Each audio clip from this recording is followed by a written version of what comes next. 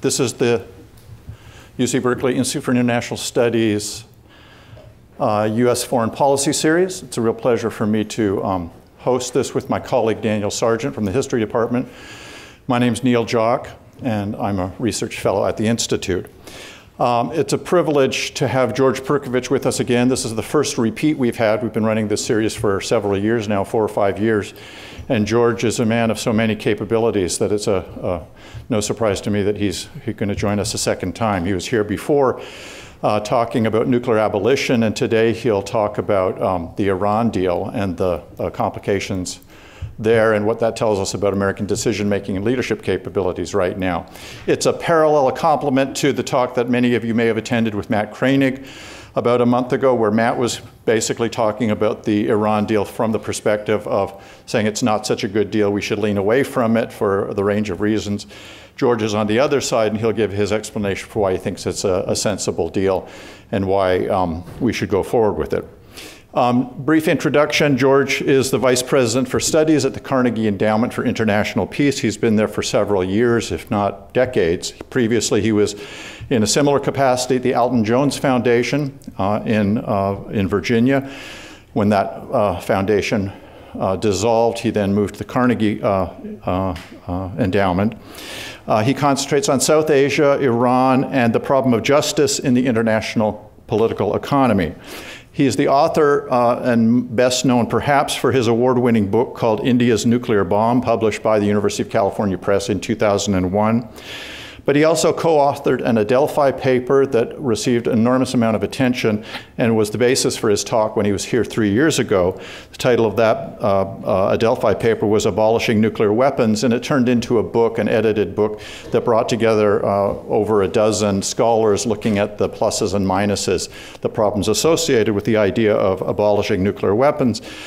And not to say that it was um, the reason President Obama adopted that policy more vociferously, but um, certainly had an influence. George is one of the people in Washington who um, presidents like to talk to because he's uh, a very sensible thinker. Uh, he's written a lot of other stuff. I won't go into the details.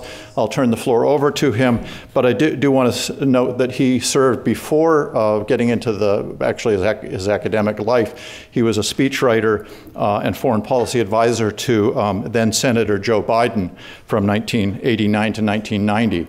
So if you have any questions about the current Democratic horse race, um, you can probably bring that up in Q&A, and I'll leave it to George to decide how to respond. Uh, perhaps most importantly, though, from my perspective, and some of you may have been here when uh, Julia Sweig spoke uh, several weeks ago on Cuba, I noted, uh, or my colleague Daniel Sargent introduced her at the time, but I noted, he noted that she was a graduate of UC Santa Cruz and a proud slug she is. Um, I too am a proud slug, and it's a real pleasure to introduce the third UC uh, Santa Cruz banana slug to the U U.S. Foreign Policy Series. So please welcome George Perkovich.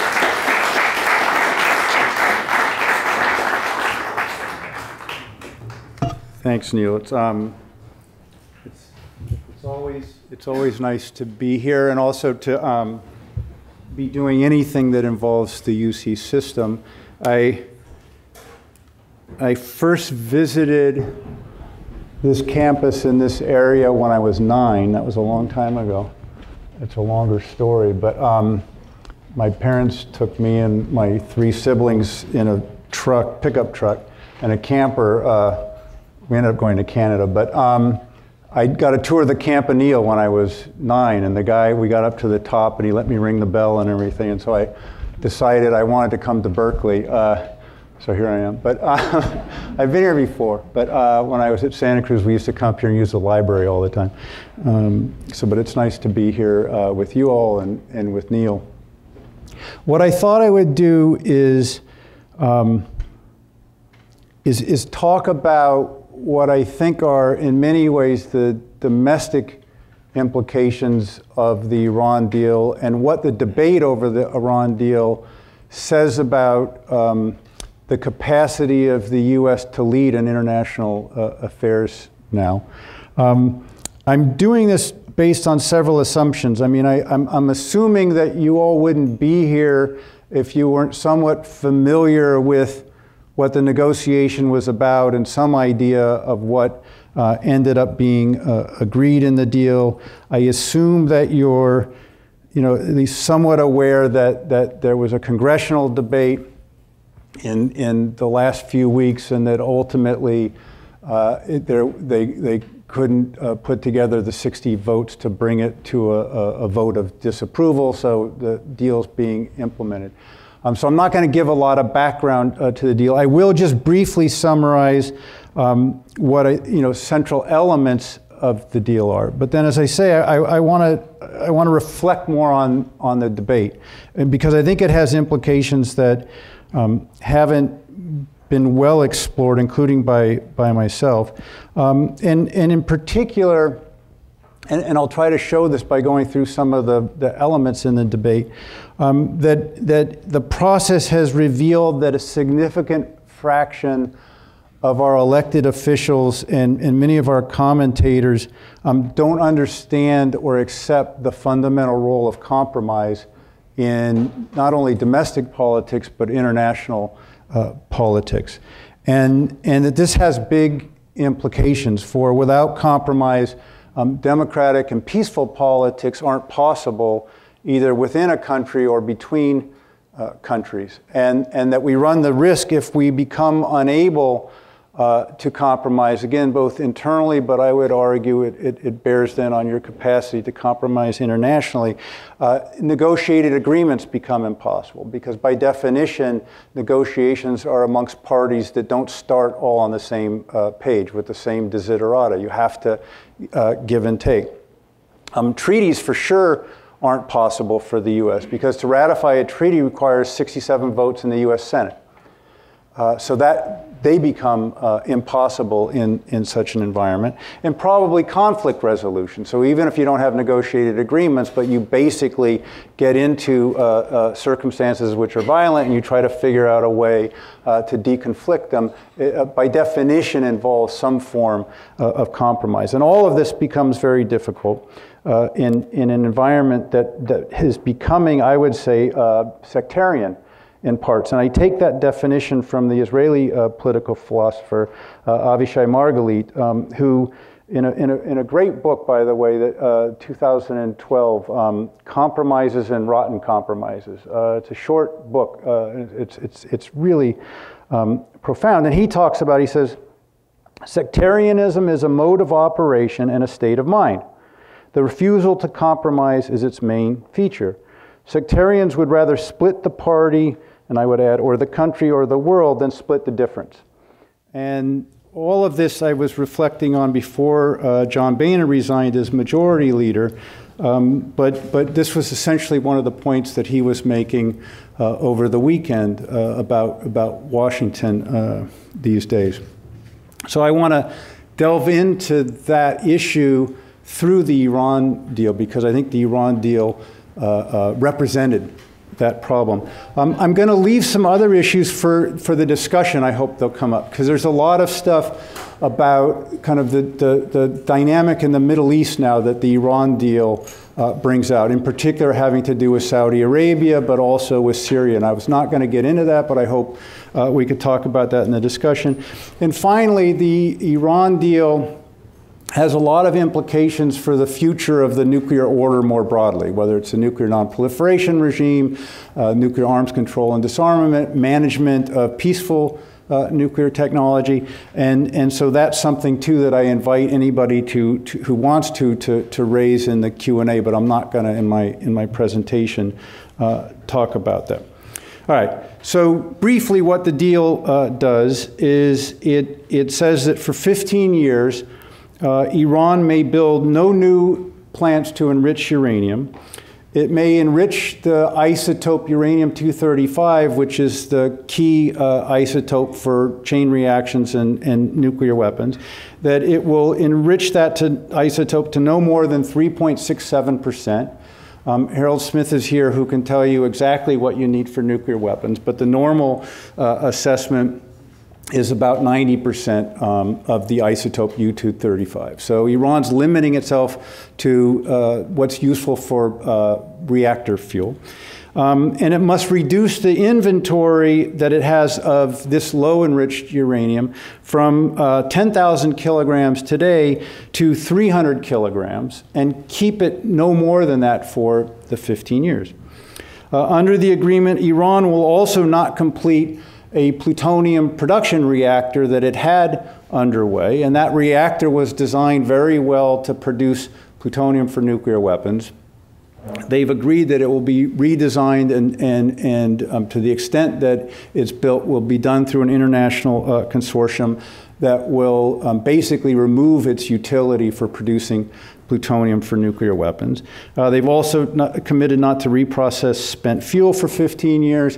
Um, and then the bottom line, when you add the verification provisions in and the other elements to it, is, is basically that for at least 15 years, the probability is greatly diminished uh, that Iran would be able to seek nuclear weapons uh, and get away with it, in a sense, without being detected in time to stop it. And so, as, as my Israeli colleagues say, basically for 15 years, you can be fairly confident they're not going to get the bomb. I would argue that the debate we had uh, in the United States, at least, um, wasn't really about all that. It wasn't really about the terms of the deal uh, uh, per se. It was about other things that we can that we can talk about. And one of the obvious ways to see that it was about something else um, was that that not one Republican supported it.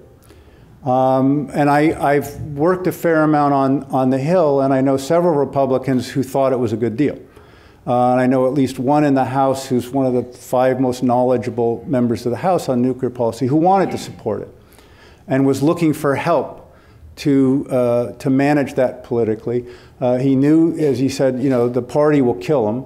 Uh, if he did, but he thought if he could get uh, enough Israelis to come to his district and speak out in favor of it, then he could get away with it within uh, his party. That was difficult to organize.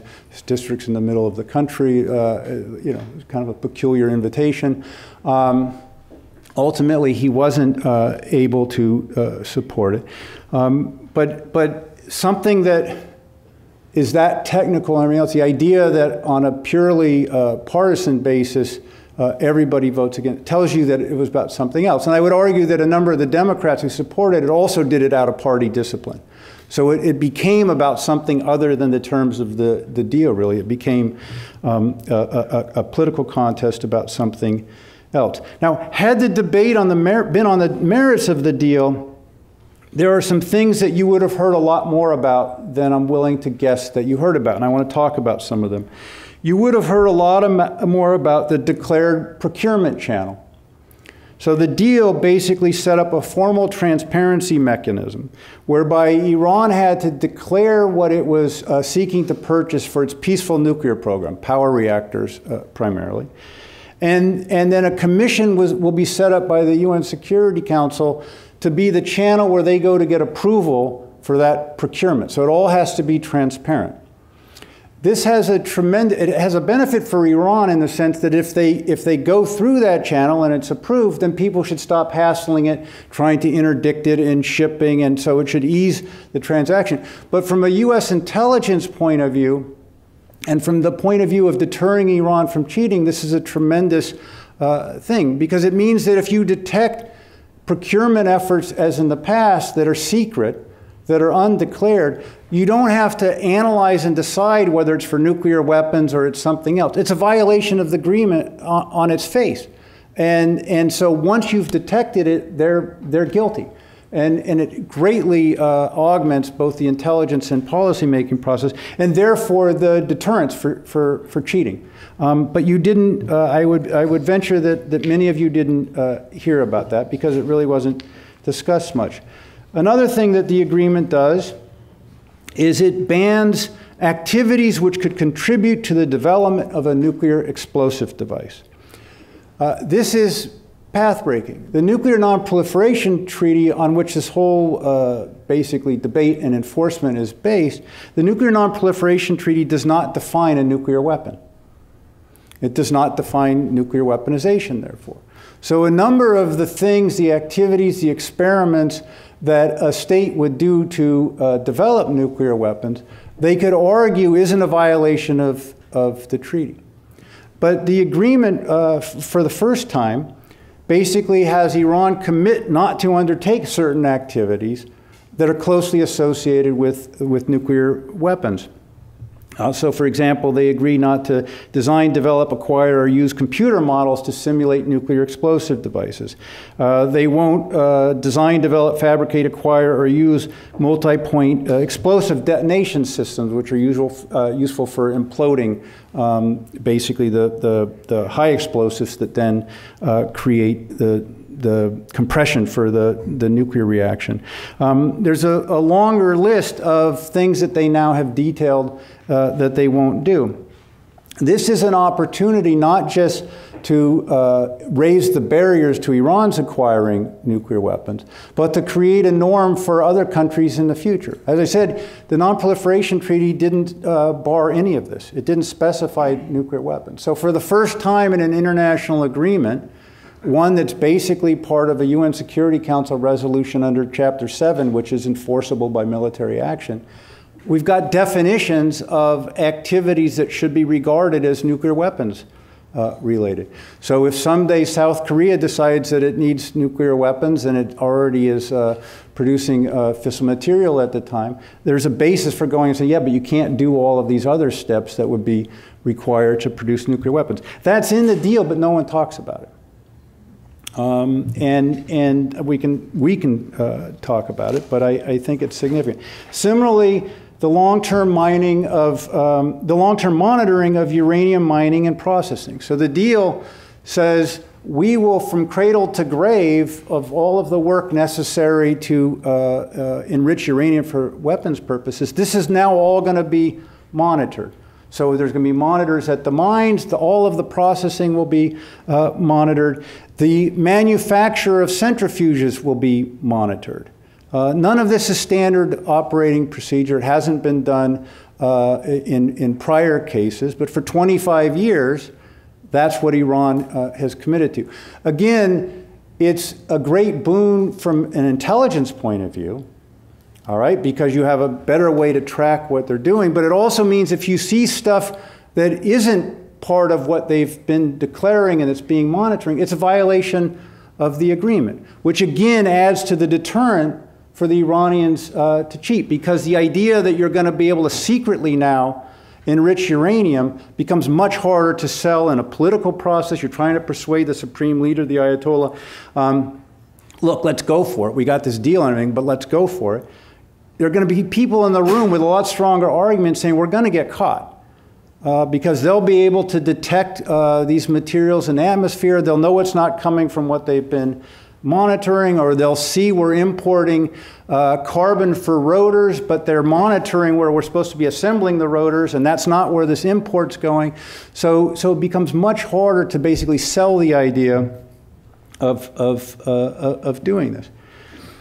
You also, I would argue, in the debate didn't hear about some of the bigger uh, picture issues. So the possibility that Iran actually won't cheat in a major way, and that um, after some of the deal's terms expire, Iran won't find it desirable and easier to make nuclear weapons. The, the assumption in the debate that I heard, anyway, was the Iranian leaders want to have nuclear weapons. They will cheat on the deal to get them. And if they don't cheat on the deal to get them, immediately after the, the terms of the deal expire, then they'll seek nuclear weapons. And yet, there's a lot of reason to question all of those assumptions. Uh, it ignores, for example, the intelligence assessment that the Bush administration did in 2007, which has been repeated through the Obama years, that the Iranian leadership has not made a decision to acquire nuclear weapons.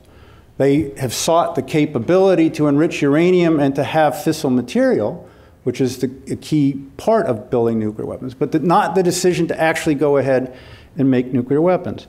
The assumptions here ignore the main reasons why the Iranians started their enrichment program in the first place, which they did in the mid 1980s because they were in the midst of the war with Saddam Hussein and he was using chemical weapons on missiles uh, attacking Iran and Iranian forces, and the international community was doing nothing to stop it, and they started their enrichment program.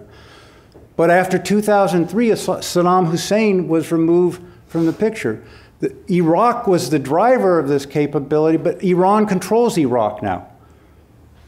They haven't sent a thank you note, but they, but they, uh, uh, this is the threat. What had been the threat, the mortal threat, is now uh, not the case.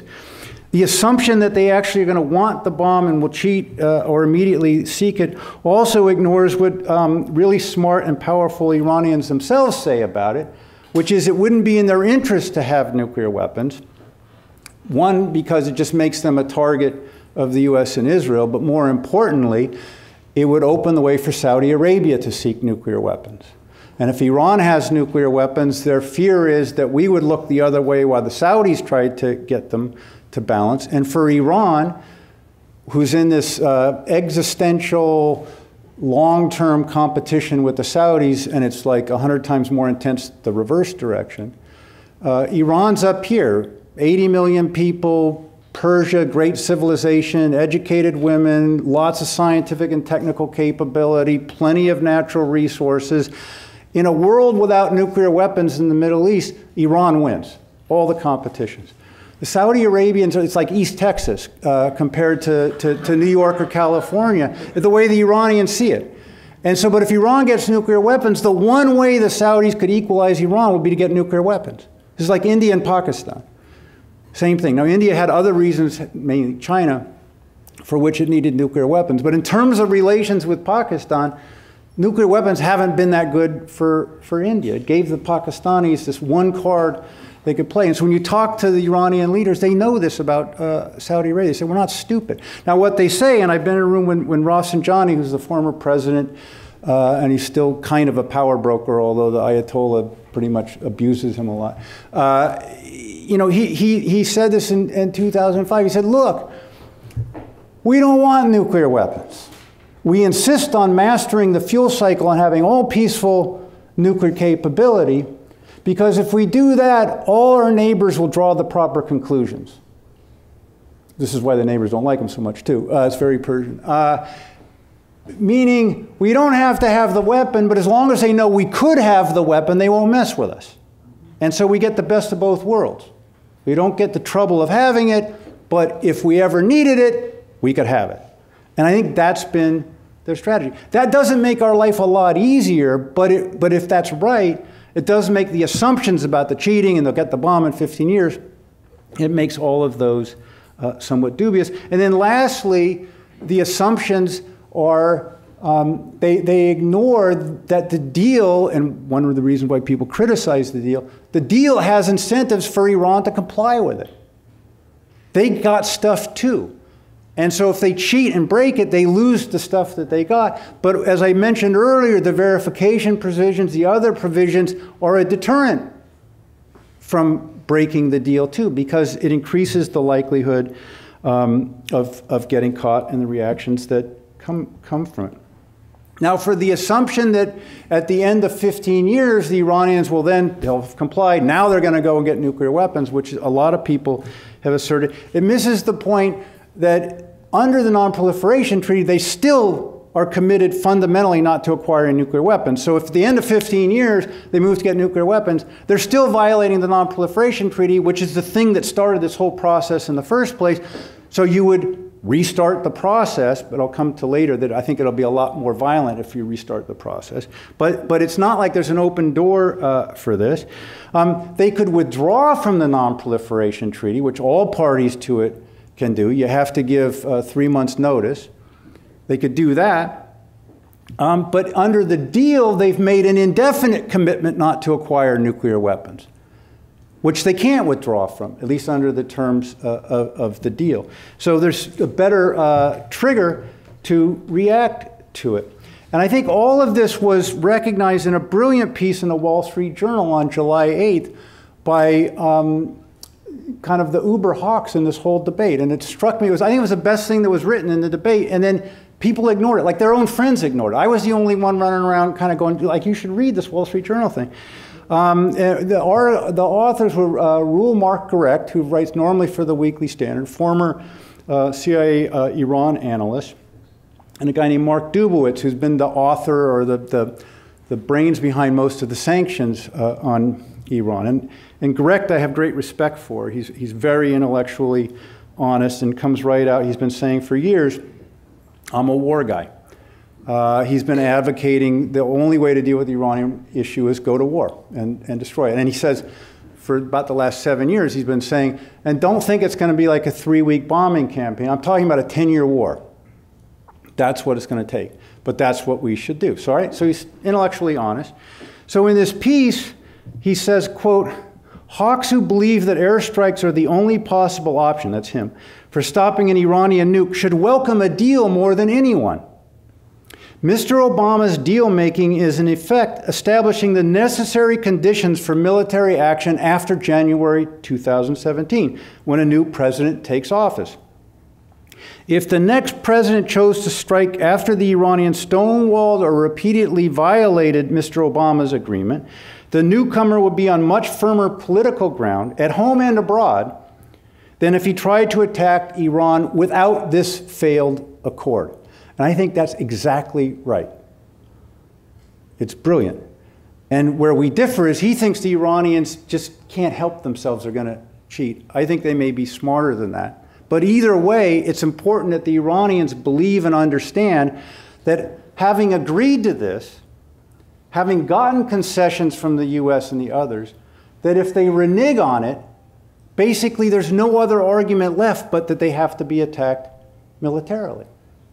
If Obama couldn't make a deal with them that they'd accept and they'd stick, okay, what else are you going to do? And so these guys got that which to me is a super strong argument for the deal from whatever perspective uh, uh, uh, you take on it. And basically, people ignore it, even their, their own uh, uh, uh, readers and, and supporters. again, because I don't think it fundamentally was about the, the nuclear deal.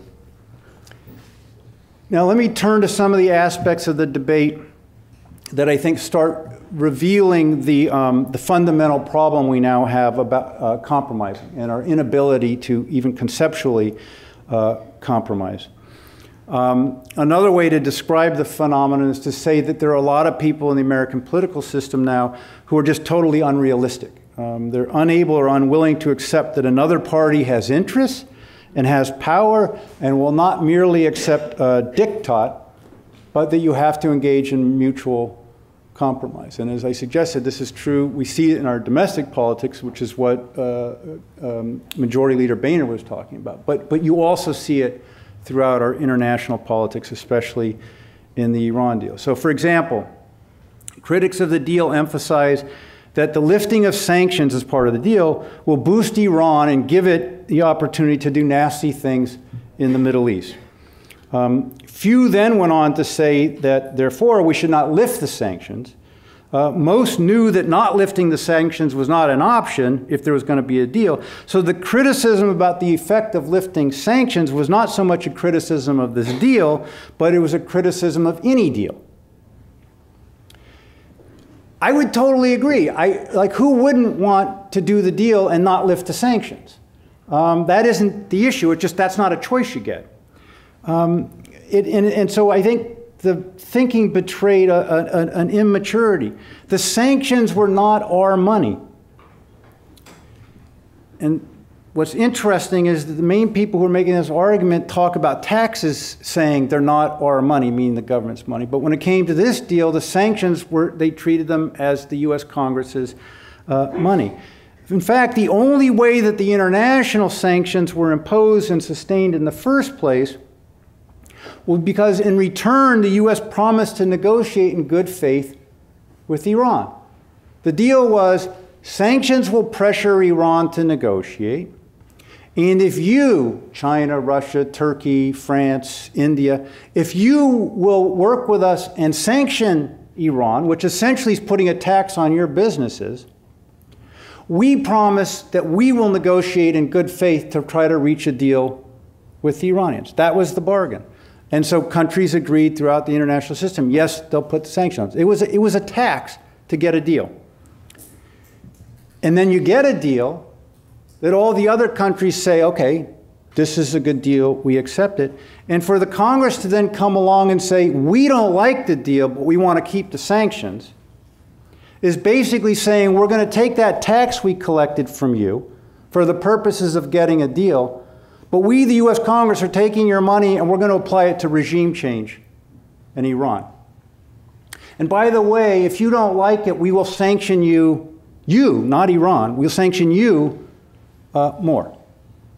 That was the proposition. It was totally um, unrealistic and, and unaware of the dynamic of give and take, not just with the Iranians, but with how you build international coalitions. And, and I think this is part of a, a, of a broader issue. There was a second argument, it was related to this. That was about the sequence of relieving sanctions. So some people say, okay, we get it, we got to get rid of the sanctions as part of the deal, but we should wait until Iran's done all the things they're supposed to do, then we'll relieve the sanctions. Again, that would be great. Can't argue with the principle of it. But as this was happening, I was kind of going, do they realize, well, they know how much we mistrust the Iranians, all right? But what they don't get is that the Iranians mistrust us even more. And this is true, by the way, of other countries. And so the proposition, I, was, I, I, I thought of this when I was hiking in, in, in, on vacation this summer. It's like every gangster movie, what makes it really tense and one of the, some of the best scenes are the payoff, right? It's like they got the hostage or they got the supply of arms and the other guys are going to buy it. And the whole negotiation, all the drama is the sequencing. Because you're worried about if I give them the money before I get the guns or the hostage, they may just take off and I'll lose the money. Right? And then the other guy's going, well, if I give them the hostage or the guns before I get the money, they're going to take off. And everybody's worried somebody's going to shoot them during the, like right after the handover. So you've got people in the trees making sure that they're guarding so that you're, you're not going to get. That's the movie. It's all about the sequence. And so it always comes down to it's as close to simultaneous as you can get with lots of suspicion. That's how the movie goes. And yet here we're arguing basically the Iranians are supposed to give us the weapons and we say, we'll pay you in three years, we're good for it. And it doesn't, it, it again is not realistic and it doesn't uh, reflect an understanding of the international dynamic, but that's what's happening uh, in Washington. I would argue that similar things about the whole issue of uh, inspections anytime, anywhere, and so maybe we can talk about that more in the discussion. I'll, I'll skip over it now, but I think it was another issue that was very central in the debate, but wasn't uh, very realistic. And then lastly, I, I, I want to talk a little bit about the argument um, that, yeah, the deal's okay, but the problem is it expires after 10 years, which, first of all, isn't true in its entirety. In a sense, some of the key provisions expire after 10 years. Some very important ones, ones run to 15 years. The inspections that I talked about on you know, the uranium processing, that goes for 25 years. The Non-Proliferation Treaty is indefinite. So it's, it's, it's not quite right to say it expires after 10 years, but okay, let's say that it is. The question that I would always ask is, on what basis would the Iranians agree to make it like much longer term, let alone forever? And on what basis could you get the rest of the world to press the Iranians to do that? Because I'd say, what legal basis is there for this argument? Because it's not in the Non-Proliferation Treaty. So because we just we'd rather you not do this forever. Okay, I get that, but then the response is so what? Uh, so so what's the what's the lever? What's the argument? And there is none.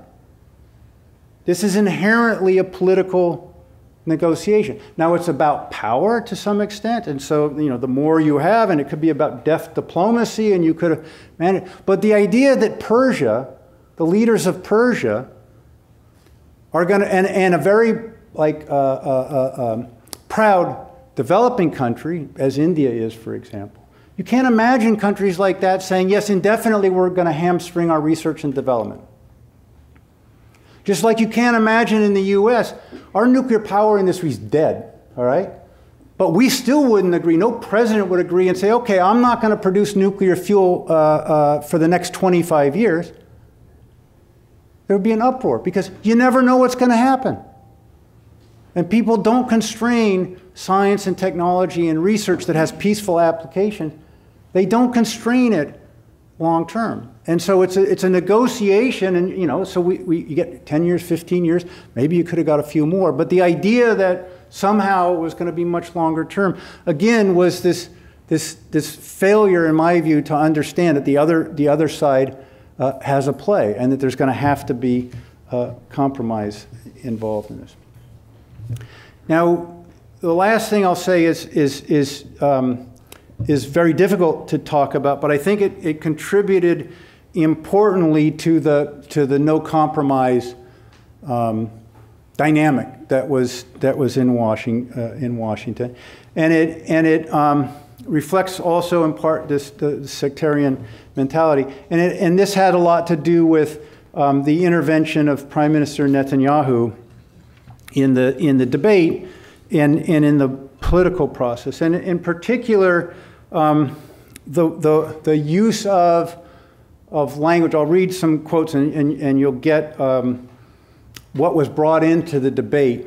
And, and, and you'll see that the, if those are the terms, it becomes very hard to think and talk about uh, compromise. So he says, the Nazis sought to crush civilization and have a master race rule the earth while destroying the Jewish people. In that same way, Iran seeks to dominate the region and to spread outward from there with the declared intention of destroying the Jewish state. Appeasing tyrannical regimes will only increase their aggression. The bad deal with Iran signals that the lessons of the Holocaust have not been learned. Right? When it's cast that way, and I don't blame him, I, I, I understand why he wanted to cast it that way, but when something gets cast that way, it becomes very hard to have a debate about terms. If you do, and I've done this, uh, what are you, a, a Nazi sympathizer? Are you an appeaser? Because a Munich comes up in every one of these. So you're Neville Chamberlain. You an anti Semite? Becomes very hard in American politics to then have a, question, have a debate about the terms. Well, are we sure Iran will seek the nuclear weapon? As I try to suggest, there are reasons for doubt. Well, if somebody's saying, you know, they're absolutely uh, going to do it, they have a master plan, they want to they want to uh, rule everything and destroy the Jewish people, that changes the dynamic of the debate. Now, you can't then say, well, wait, Iran's not Nazi Germany. Uh, for one thing, they don't really have an army. Uh, they've got the Quds Force, so they've got Revolutionary Guard who do things like support Hezbollah, and terrorism, but that's different from moving an army in, in, in blitzkrieg and occupying uh, countries. Yes, they have a big role in Iraq, so they spread their influence, but remember how that happened. Hezbollah exists in Lebanon, but remember how Hezbollah was created. So after the Israeli invasion in 1982 and the massacre at Shatila. So you look at the particulars and you start saying, well, this is a little different from Nazi Germany. I think it's true, but you're already in a lot of trouble politically. And so no American politician is going to raise questions about that. And by the way, unlike what happened in the Holocaust, Israel has nuclear weapons. But the US government doesn't officially acknowledge that because Israel doesn't officially acknowledge that, which I think actually is a good thing. But it makes it a little hard in the debate about how this is different than that if this Trump card can't even be talked about. And so then the argument would have to be well, the Iranians are suicidal, so the Israeli nuclear weapon won't deter Iran. They're suicidal. The leaders are suicidal. And then you could have a debate about that and say, what's the evidence that the Iranian leadership is remotely suicidal? They're all very old men. Uh, there's nothing suicidal about any of them. They live very nice lives and die of prostate cancer or whatever, which is slow moving cancer. Um,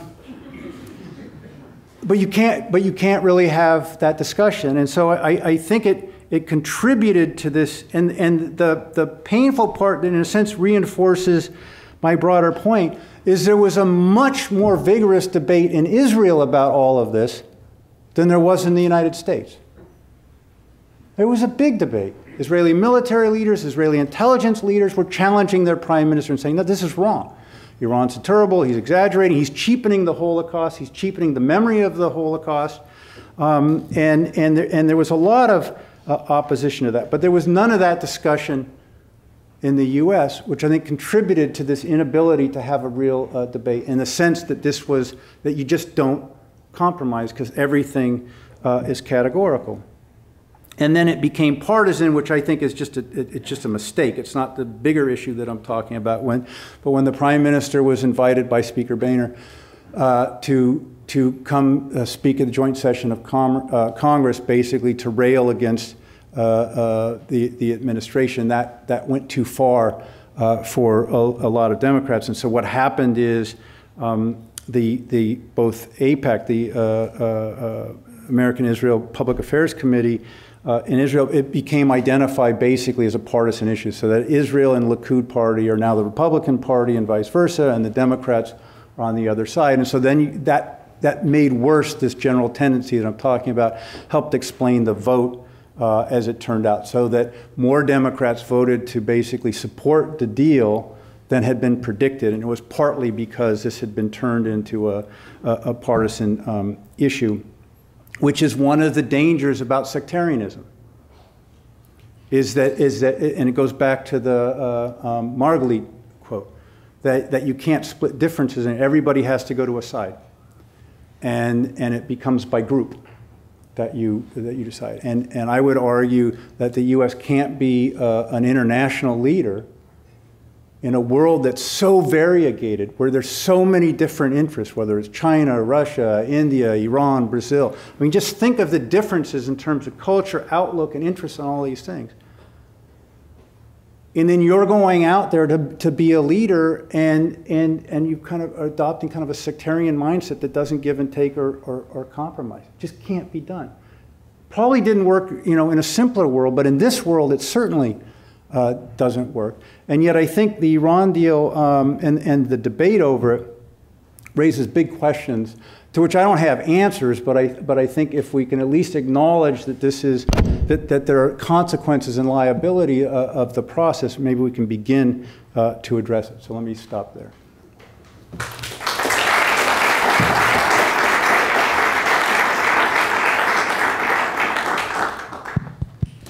Thank you very much, George. Um, couple of points before we start the Q&A session. We're going to have a reception afterwards out on the patio just outside uh, uh, this building uh, uh when we end. So if you don't get your question in, or if you think that Perkovich here isn't really responding uh, as thoroughly as you thought he should have, and I didn't get you, you didn't get a follow-up, then you can pursue him and pin him down, and uh, over a glass of wine, you loosen him up. So um, the yeah, second thing I want to say is that um, we are recording this. I encourage you to go back and take a look at what Matt Kroenig had to say a couple of, a month ago on one side, um, and then compare it with what George has to say. This debate will continue. The Republican candidates have said that they will reverse this deal if they're elected in January, when they come into office in January of 2017. So the, the dynamic uh, continues, and clearly the sectarianism that George talked about persists as well. So those two um, was the point of having uh, both of these uh, presentations. Uh, so it is being recorded, and now let's go to questions and answers. But if you want your question to be recorded, please wait until the microphone gets to you. Otherwise, it's very difficult for the, the sound uh, to, to transfer. So open to questions. And I see my colleague Harry Kreisler. Let's start over there.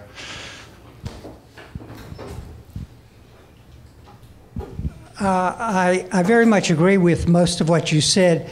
Uh, there are two points I would like to raise. One is the word that was used by Israel, other than the Munich analogy, was existential threat, which, if you actually look at what we know about deterrence and so on, that really wasn't what was going on. Basically, it's really about Israel's fear not that they would be nuked, but rather what they can do in, in lesser wars if the, uh, if the other side had uh, nuclear weapons which could deter them. That's one thing. Then, so that was what uh, that was what was said in the debate, and I just want to add that to what you said. But the other thing that was not discussed was the future and the Middle East and who will be the dominant power in the Middle East.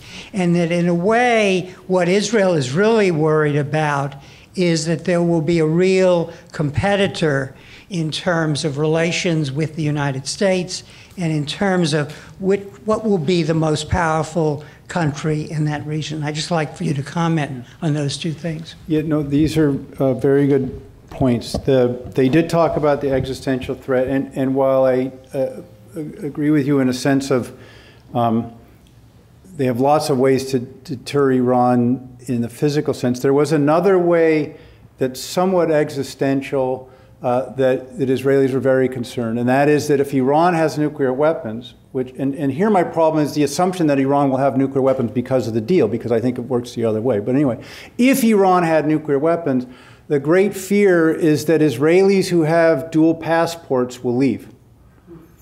And the ones who have dual passports tend to be the best in IT and driving the economy. Uh, and there's a nonstop to San Jose, uh, you know, and, and SFO, and, and so uh, in the street. And so that, that was the, the, the worry, which is, which is a genuine worry. Um, but there's also a way in which you said, right, we lived all of my adult life with kind of that fear from this. I mean, this, you, you know, it's too bad, but there's a modern uh, condition. But so there was that element. The, the other, the other party who actually feels a real existential threat, and it goes to your second point, is Saudi Arabia, for reasons I alluded to.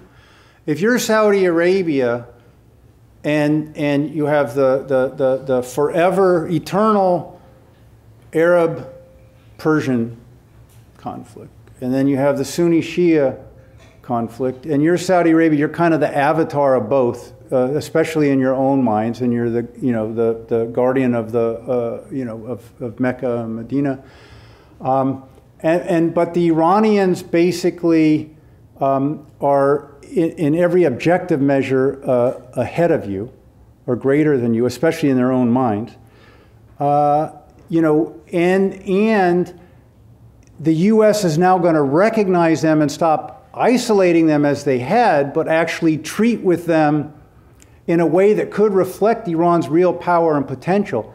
That's a big problem if you're Saudi Arabia. So after 79, right, we switched. We, you know, the revolution in Iran, before that, they were our policemen. They were our favorite. So since 79, Saudi's been our favorite, right? They were the personal bank account of the Bush family. They, they underwrote uh, just about, you know, they underwrote the Afghan war. They underwrote a lot of the stuff we did. They kept oil prices the way we wanted them to and we kept them more or less secure. Now they look at it and they say, wait, on, on all the objective merits, Iran may be the preferred partner of the US. What do we do? This is a big problem for them, to which there isn't really a good reassuring answer. There may be an accurate answer, but, but it's not terribly reassuring. And so the president said something that I think happened to be true not long ago, but then that also was not reassuring and it then made people in Washington angry. He said, look, the Saudis really have to focus on their internal situation and reform and getting their internal house in order, which is true, but not really what they wanted to hear. And so I think that's the big worry, especially for the Saudis. The Egyptians kind of worry about it, but they have their own problems and they're, and they're big and it's, they're farther away from Iran. But the, but the Saudi Iran thing is a huge uh, uh, uh, challenge to the whole thing going forward.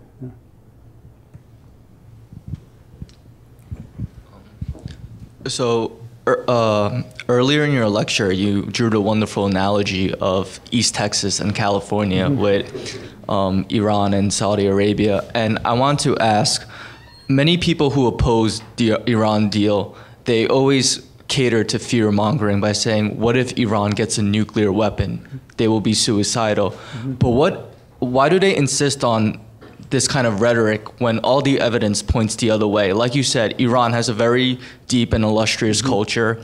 Uh, 60% of Iran's population is under the age of 30. They are a very young country. Many uh, Iranians are actually very progressive in their values. They want a democracy. So why do many politicians who oppose the deal continually, continually uh, go to this mm-hmm. kind of fear mongering rhetoric when there's simply no evidence for it? I think it was some of it is, I mean, a lot of it is is ignorance. I mean, and I, I you know, you don't take my, I mean, I spent a fair amount of time talking, and, it, and it's, it's quite remarkable how little our elected representatives know about that. They know about other things that I know nothing about, but about this stuff, they know uh, very little. To the point where I, you know, was encouraging uh, both the ambassadors, but also policymakers from Germany and France and the UK, uh, whom I know, say, look, you have to go up on the hill and spend time talking to members. And I remember some of these guys coming back saying, I've never seen anything like it in my life. I mean, these people absolutely know nothing um, about Iran or the region or whatever. I said, this is what we're trying to, to tell you. So there's part of it was that. But the other part is what Harry was saying. So the, the ignorant thing is Iran's just going to go crazy and they're going to wake up and, and drop bombs and so on. The more historically valid concern is if they, if they had nuclear weapons, now they have to have a sufficient quantity and everything else, so that's going to take more time. So one isn't going to do them a whole lot of good. Uh, but let's say they had all it. The concern then is they would be more aggressive in the way that they arm Hezbollah, be more aggressive in, in the pushing of Hamas and others to uh, commit violence uh, against Israel, to make life harder for Israel and or other of their competitors. Because then the argument would go, they would deter Israel and us from punishing them militarily because we wouldn't want to risk a nuclear war. And this is an argument for what Pakistan has done with India since it acquired uh, nuclear weapons. So there's some validity to that uh, concern. And and, and so I think that's, uh, uh, it is, that's a valid argument. The problem with it, in my view, is it assumes that the nuclear deal is, guarantees that Iran gets the bomb, which when I look at it, I kind of go, actually, it kind of works better the other way. That if you didn't have a deal, they were on the way uh, to getting a bomb. And, and for the reason that I said, if they had a deal and broke it, the thing that you want us to do, which is bomb them, is going to be more likely than if you don't have the deal. Um, so I hope I answered the question.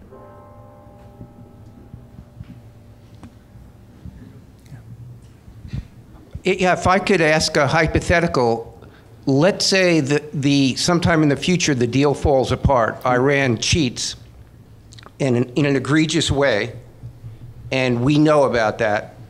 What do you think we should do then? Do you agree with was it Dubowitz mm-hmm. um, that you mentioned? Or could we end up in a worse place because now we have a just war rather than a, a regime, uh, a sanctions regime, which we had before we started mm-hmm. this? Well, I think the first thing, if, if, if they cheated egregiously, uh, and then I assume if they cheated egregiously, we, we would detect it. I think the, the first effort would be to try to remobilize uh, the sanctions, and you would do that while mobilizing forces. So I don't think you would do it sequentially. I, I think any president would say, look, we're going to try to do it, you know, the nice way, but, but we've now seen this movie, so you're preparing a, a military option too. And so then you would try, you would try to mobilize the sanctions, because you'd want to do that anyway and, and, then and then depending on how it played, then then uh, military action. And again, depending on what's happening in Syria at the time, and there are a lot of other variables that any president would have to factor. Um, Syria being an, an important one, uh, Iraq another. But I think the pressure on a U.S. leader to do something will be will be greater then than it has been uh, in the past because it, it, part of what was difficult about the experience we've had since 2002 when this diplomacy really became acute and since I started working on it in 1993 is it was ambiguous. So for a long time, it was kind of another trying to get a nuclear weapon capability. No, no, no, they're not really. We don't have good evidence. It's not clear. Um, so, but once you have this this, this deal with all of the specified terms. So like in case, in case the non-proliferation treaty wasn't clear, this is clear, and they violate that, there's no more ambiguity. Um, and so you're kind of stuck then if you're the leader of, of you've got to get a result now, even if, you, if it requires the use of force. So I, I think that's where it would, would go. Whether that's a good thing or not, I mean, that, that could end badly, but I just think you kind of, you, you just get driven there. Hi, Hi. I'm Nora Foster. I'm retired from the library. Um, I heard a very interesting um, interview uh, at Harvard University on the 21st of September with Noam Chomsky and the black students. Um, and um, I was kind of shocked because uh, Chomsky said that the major nuclear nonproliferation treaty, which is renewed every five years, was blocked by the United States. Is this true? No. And if if so, how can we stand as leaders in non-nuclear pro- proliferation? And uh, I'm wondering if I've got the information incorrectly when I heard it at like 2 a.m. last night. when I listened, I listened to the whole lecture. It's really interesting. Okay, that's a bigger discussion of why you were up at two in the morning listening to that. But that, but okay, but I, you know, not for me. The, the, God bless you for doing it. The, um, it, I, I think, I think I, I'm guessing what he was saying, and I think, not surprisingly in a way, that it was highly tendentious. So let me suggest what, what he was saying. There is a non-proliferation treaty which I talked about, which is the, the legal basis for which all of this, on which all of this diplomacy is based. So if you didn't have that treaty and Iran hadn't signed the treaty, there's basically no legal leverage to be doing any of this. So they signed the treaty. That conference, that treaty is reviewed by the parties every five years at a big international conference, okay? And so there was just a review this May, uh, because they do it on the zero and the five years. And it, the, the, the parties produce no final document, which in diplomacy is often the way that success is decided, which is a little like I'm thinking in university terms like, you know, you just hand it in the paper, but nobody read it. Kind of like, it's like not really a success if you just hand in the pages, but, um, but that's often defined as success. In this case, they couldn't agree, uh, and for reasons that I think had very little to do, I would not assign the responsibility to the United States at all. I would assign it much more to Egypt, uh, for which I, I, I can offer a rationale. Uh, but then I would elaborate that I think we have a big problem with Russia and others. So his argument would be um, the, the, there wasn't an agreement because a majority of the states wanted language that uh, called for the convening of a conference on a zone free of weapons of mass destruction in the Middle East. All right, which is a longstanding commitment that was made in 1995 to Egypt as part of this project to have such a conference. The conference hasn't been, hasn't been held. Now, I would argue the reason it hasn't been held is because Egypt, the champion of this thing, um, has not been remotely realistic in its approach, whereas Israel actually has said, yes, it would come to such a conference, but that it would like security to be part of the agenda. And the Egyptians said, no, we're not going to talk about security. Which I would say is not a responsible thing to do. And so the US and others basically weren't going to go along unless the agenda were remotely realistic, which I think in my I would defend. And the Egyptians stuck to it. Now, I would argue that the government of Egypt has been brain dead for at least the last five years. Uh, that right now it's led by a military dictator. This is something that uh, diplomats are doing with no adult supervision. I have asked the U.S. I've asked John Kerry's people, I've asked President Obama's people, when you've talked to the Egyptian leaders, when it was Morsi, when it was Mubarak, and now Sisi, do they ever bring this up? They say it's never been mentioned once. But for these guys who go to the conference from the foreign ministry, this is their, it's like their sandbox. And so they and so they've hijacked the thing, and I think the U.S. rightly uh, uh, didn't go along. I have no problem with that. Now, what Chomsky would also say, the big problem is there's no nuclear disarmament, so we haven't done disarmament. To which I would say President Obama has leaned into that issue harder than any president since Reagan, and we know what Putin has said, which is, "I want more." And that's not a problem that resides with the U.S., I would argue it's, it's more a problem with Russia, and then we could talk about Pakistan and so on. So, so I would disagree with Professor Chomsky. Yeah. Daniel Sargent uh, from the History Department here. It's a great talk. Um, look, I would like to uh, push you to talk a little bit more about the schism in domestic politics associated uh, with with the deal. Um, now, as I understand it, what the deal is is really about is about trying to exercise power in relation to Iran uh, to get Iran to do what it would not otherwise have done, which is to commit, uh, you know, not to uh, build a nuclear weapon for 15 years. Now, when you exercise power in international relations, you're, sort of, you're mobilizing your resources, and these you know come in various kinds. They range all the way from sort of culture uh, all the way to to military power. And I wonder whether, you know, one of the basic uh, differences between the supporters of the deal and the opponents uh, of, of the deal has to do with their respective uh, willingness or disinclination to countenance uh, military power, as, or military force rather, as a source of power in relation uh, to Iran. As it seems that the, the critics of the deal are, you know, very willing uh, to conjure an alternative scenario in which the United States utilizes the Fifth Fleet uh, to enforce nonproliferation uh, on Iran. Now, the supporters of the deal, on the other hand, uh, seem much more uh, reluctant uh, to countenance any scenario in which military force is is utilized. So, is that ultimately, you, know, somewhere uh, at the root of the sort of cognitive dissonance that we're witnessing now in domestic politics? I wish it were. Um, but in my opinion, and I'll, I'll, I'll, I'll, suggest why, I don't think that was the dynamic in this case, and I don't think that's been the dynamic um, since probably 2008, 2009, when the president ran for election in part about getting out of the war. So let, let me say a little more. It, it is certainly the case that supporters of the deal have a lot of doubt about the utility of military force and the value of getting into another war in the Middle East, this time with a country three times the size of Iraq. All right, so they've got reservation. But with the exception of my friend Reuel Marc Gerecht, almost all of the critics of the deal say they're not for military force. And I've been on a number of panels with them where they say, no, no, no, don't get me wrong.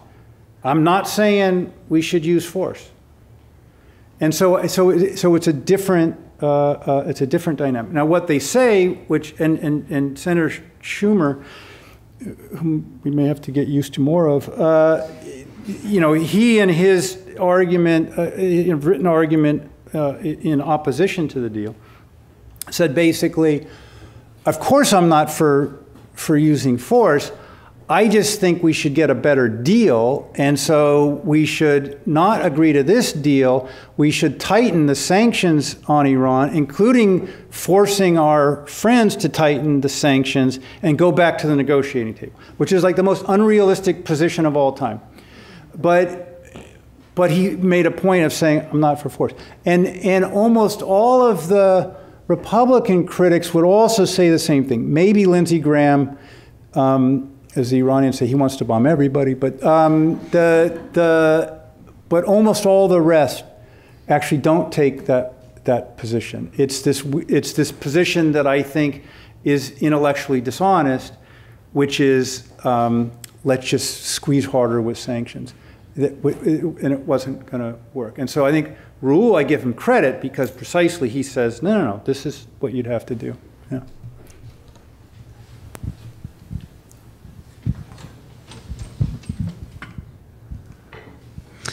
Thank you for uh, the comments and for the talk. Um, I just wanted to ask you about something that uh, Dr. Kroenig brought up a, uh, a couple weeks ago. He seemed to think that the biggest issue with this deal was the new standard that it was setting for nuclear non-proliferation in saying that um, Iran would actually be able to enrich its own uranium, which we had stopped South Korea from doing, we had stopped Libya, Libya from doing before. And he was saying that by allowing Iran to do this, a country that, while having many young people, we can all still agree is not our best friend in the in the world and not um, a friend to any sort of democratic reforms, a very mm-hmm. repressive regime, it's going to be hard for us to go to our allies and to more moderate um, mm-hmm. countries and tell them that they can't get the same deal. So I just wanted to hear what your response is to I, that. I think it's absolutely true. Uh, he's right. Um, I, like I say, I've been working on this since 1993, and until 2007, I was a no enrichment, you know, person. I've been in Iran three times in big public events saying no enrichment in Iran, and um, and and then at some point, I would argue you have to acknowledge when you've lost.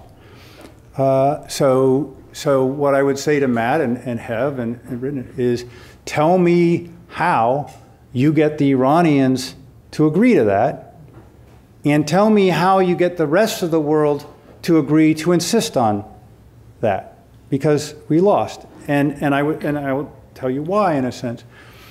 The Iranians insisted that there's a right to enrich. And I and many others would say, no, there's no right in the Nuclear Nonproliferation Treaty to enrichment. And I think that's a strong argument. The problem is there's not not a right in the treaty. It's a little like the Bill of Rights in the United States and this whole issue that the Supreme Court wrestles with and has for our history of unenumerated rights. So there's some people, strict conservatives say, if it's not written down in the Bill of Rights, there is no right. But a lot of our history and legislation and jurisprudence says, well, there's some things that can be, in a sense, inferred and then, and then as time goes on, politically adapted be, to be treated as rights. And so it's a big debate. And this is what happened on enrichment. But precisely because there's not not a right to enrich, it becomes a political issue. And, I, and, and, and politically, they won. Now, they pay, the other thing I would say to Matt and to other countries, and I've done this to people in Saudi Arabia and elsewhere when they say, I say, well, sure, you want the Iran model. Go ahead and start. You're going to pay a couple hundred billion in sanctions. Some of your leading scientists are going to be assassinated. The head of your missile program is going to blow up in an accident. Uh, you're going to be totally politically uh, isolated. Uh, your control servers for your industrial, industrial processes may be attacked uh, by cyber means, uh, so that you can enrich. If that's if it means that much to you, yes, you're going to be able to enrich. So it isn't like the Iranians like were given all of this; they fought for it, and they paid uh, uh they paid a big price, and ultimately uh, we made a deal. So if somebody else wants to come along and pay that much for enrichment, it depends who they are. If they're weaker, we'll probably squeeze them harder.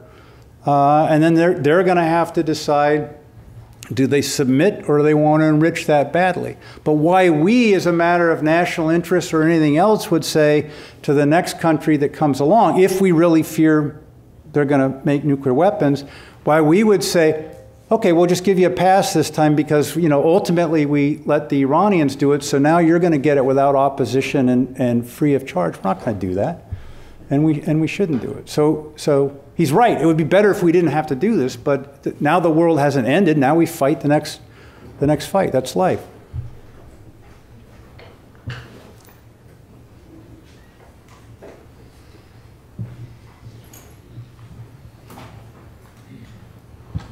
So many critics of the Iran deal have claimed that they will use the approximately 100 to 150 billion in released uh, mm-hmm. assets to fund Hezbollah and other terrorist actions in the Middle East. Mm-hmm. Does the U.S. have the ability to prevent these actions on a large scale via sanctions? Because Iran has claimed that we will not be able to do that and that mm-hmm. no new sanctions will be able to go in mm-hmm. place because of the deal. Mm-hmm. And our State Department has claimed otherwise. Mm-hmm. And then would we be able to prevent this or would we mm-hmm. want to enforce, enforce new sanctions mm-hmm. in face of just having passed this deal? Right. Yeah, it's a really good question. Um, there's dispute about the numbers. All right. So let, I think that the established figure is more that in the shorter term sanctions relief, Iran will get about 100 billion, but they owe 50 billion of that to the sanctioners, and so it's going straight to China and it's not going to Iran. So that what Iran gets is about 50 billion. All right. Then there's a debate over where, how they'll spend it given all the domestic issues. But let's say they put it all into Syria and Lebanon and, and everything else. Um, a, that's unwelcome, uh, and we should do what we can to fight it. But as I tried to suggest, it wasn't an all, it's not an option to have not given that money back. That was that's how we got the money was on the predicate that we're going to give it back because of a nuclear. All right, what to do? Well, it's tricky because we'd have to be very artful if we're going to add new sanctions for, let's say, what they're doing in Syria and so on. Because the deal specifies, for obvious reasons, you can't just go back and rewrite uh, sanctions to make up for the ones that you're set. Because the Iranians like knew we were going to do this. And so you, you would, it, that will also become a political contest primarily with the international community.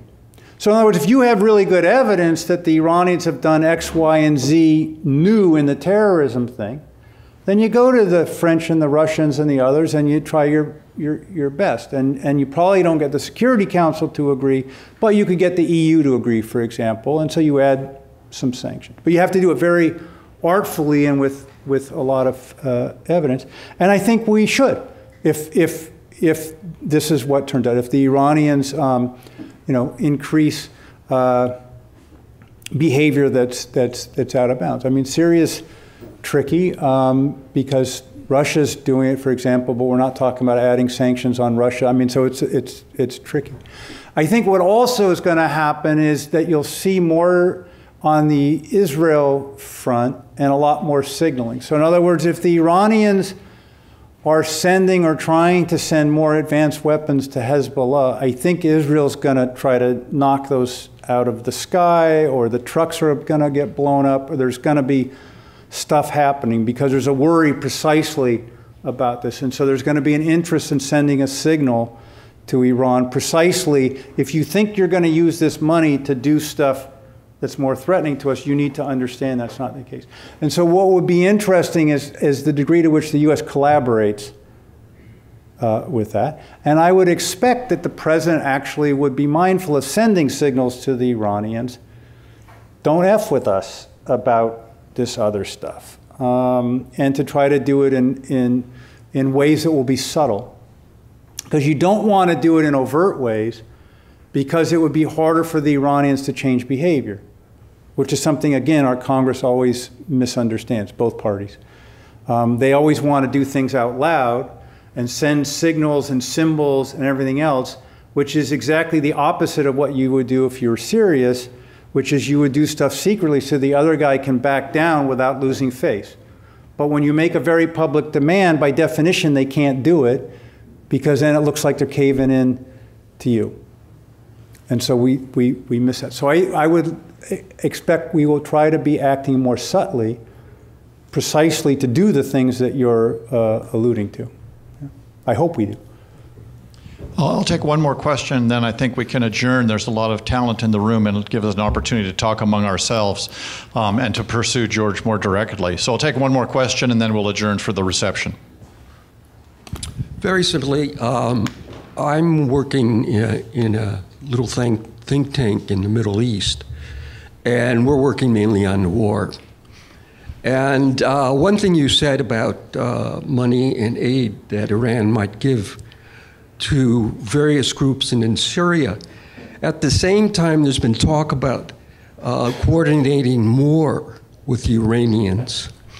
And you talk about Hezbollah. Hezbollah is actually fighting uh, on our side, uh, their boots on the ground, and other groups. Can you comment on um, how the war in Syria and Iraq will change? It's changing quickly, and tonight we'll know more about Russia. Mm-hmm.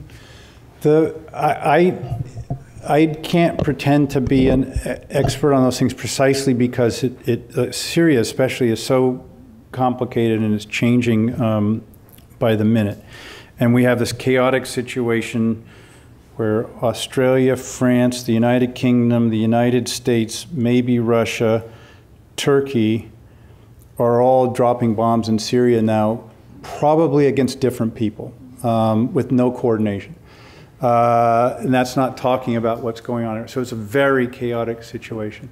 Um, Hezbollah is fighting to defend the Assad regime, I'm not sure they're fighting the same people we would wish them to be fighting. And that's one of the tricks, and that's one of the concerns about Russia, because the Russians say, we're coming in to fight ISIS, that's your enemy, and everything else.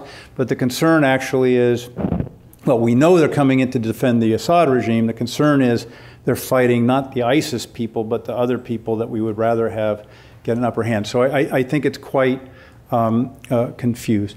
There clearly is a desire, especially I think on Secretary Kerry's part, to be able to um, converge and cooperate more with Iran. I think there's a desire by Foreign Minister Zarif to do that, and probably President Rouhani.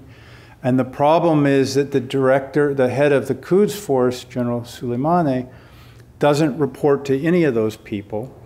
And he's the one that's in charge of all of the, um, the, the, the, the, the violent stuff that Iran does. He's very good at it.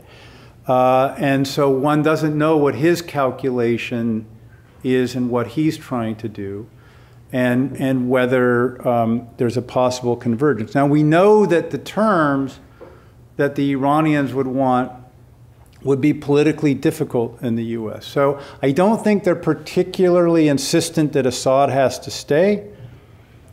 I mean, they kind of defend him kind of meekly, and Putin's the same way, by the way. Um, but, but they definitely want the Alawites, the sect that Assad is from, who are, Shia of, of sort, they want them to remain protected and in a major position, number one. And another way they put it is they want what's left of the Syrian government to remain intact and to have responsibility. And then they argue, they say, you know what happened when you guys dismantled the Ba'ath Party and the Ba'ath regime in Iraq? All hell broke loose now you want to repeat it in Syria. And we think this is stupid and we're not going to let it happen. And the Russians say the same thing. It's tricky because Assad has committed atrocities and part of that government has committed atrocities. And so this is a, so, but that would be a condition for the for us to cooperate because that's the thing the Iranians want. Then we would like to cooperate to go after ISIL, which everybody has an interest uh, in, in going after. And so you could imagine then cooperation to that. But the hard part is agreeing on the whole thing about Assad and the state and the Alawites and all of that. And I, and I just don't know what the basis for, for doing that um, is, especially because, again, it will be very controversial politically in the United States to have Putin or the Russians and the Iranians somehow given some equity in this. All right? I mean, I can tell you what the argument is. You did the nuclear deal, and, and Obama's so weak, then he did the nuclear deal, and now, emboldened by the nuclear deal, Putin and the, and the Iranians are doubling down on Iran, and we're going to negotiate with them. That's going to be the argument. And so, if you, if you had a sense that the Iranians would actually play ball, as we wonder about the Russians, this could be a way out, but I have real doubts that that's what, that we'll be able to do it. Well, before we adjourn to the patio out the back door for wine and cheese and further conversation, please join me in thanking George Perkovich for coming.